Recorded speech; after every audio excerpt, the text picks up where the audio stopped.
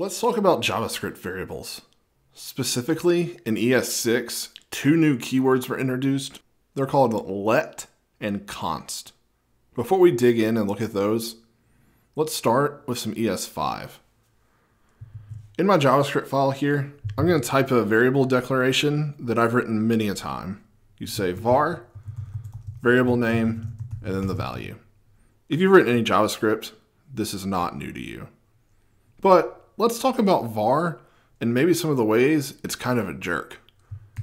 If we come over here, we have this script tag right here, one.js, that we've brought over into this file. We'll say console.log, hello, go to Safari, refresh, and sure enough, down in the developer tools, it says hello. Fantastic. So that means that what's happened is when we brought this file in, it globally brought this variable in with it. If I come down here and say var hello equals hi, well, not only did it let me change the value, it let me just redeclare the variable like nothing ever happened. But what happens if we don't declare this here, right? We've got a declaration, a value assigned, and maybe over here we're doing a bunch of different things, and somewhere in our code we say, if something evaluates to true, we need a variable and we want to call it hello, and we want to say hi. We come back over here, we refresh, and it says hi. Well, once again, this is a small example, but if you have lots of JavaScript files, this is going to get maybe a little unwieldy. Another thing to mention um, is that var does let us declare variables in functions that are scoped just to these functions. So we can say, hey, console.log, hello, come over here, whoops, come over here, call this function, refresh, and that works. But we've just got, I mean, we've got variables scattered all over here.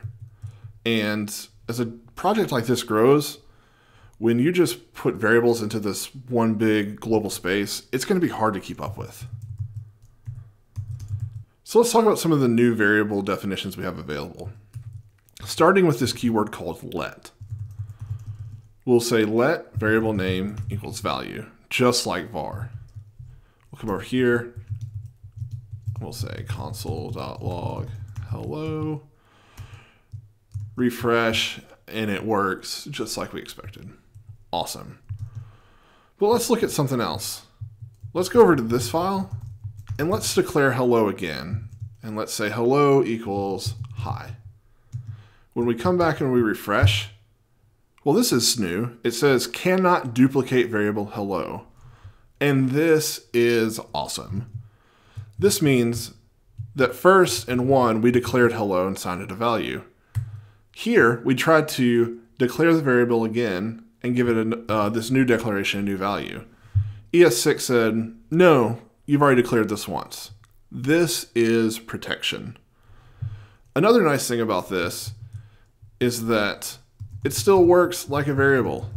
I can assign it new values, I just can't redeclare it. So let's look at one other feature about this.